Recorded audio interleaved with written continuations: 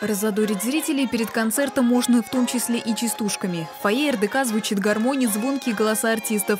Яркий, веселый народный фестиваль «Шумбрат Мордовия» ежегодно собирает только лучшие таланты из всех уголков республики. В этом году он проводится в рамках реализации национального проекта «Культура» при поддержке Министерства культуры России. Совет исполкома съезда мордовского народа выиграли грант на сумму 3 миллиона рублей.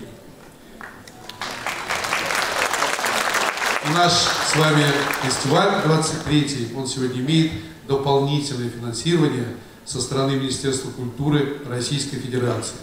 Коли год театра, постановка на сцене обязательно. Фольклорный ансамбль из Деризмарги хранит традиции и не забывает земляков-литераторов.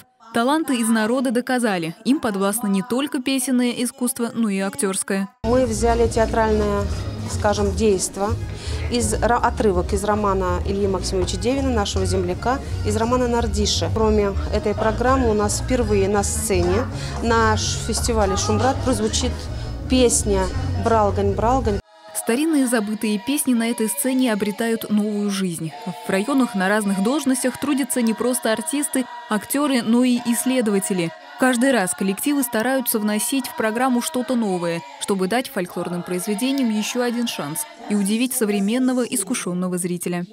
Каждым годом они все процветают и все краше, краше делают свою программу. Столько сил вкладывают, хотя они где-то работают, где-то кто-то дояркой, кто-то на поле работает. Молодцы, чистые голоса, э, чистые взгляды, чистая душа.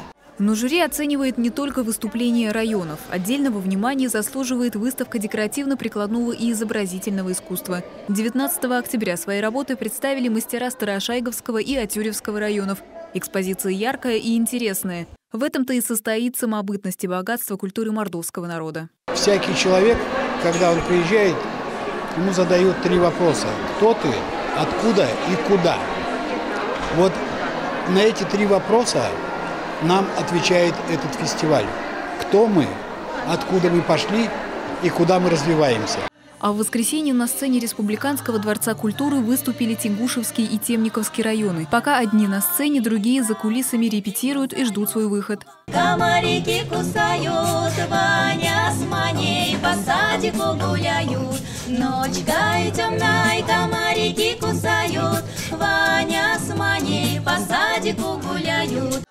Участники признаются, главное не победа. Выступление на площадке такого масштаба само по себе удовольствие. Кто-то из артистов здесь впервые, другие на сцену РДК выходят ежегодно. Но перед началом абсолютно все немного волнуются.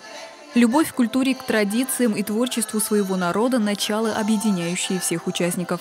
На следующих выходных 26 октября на сцену выйдут Ельниковский и Атяшевский, а 27 октября – Рамадановский и Рузаевский районы. Ирина Пятина, Юлия Кондратьева, Денис Ноздрюхин, Сергей Соколов. Народные новости.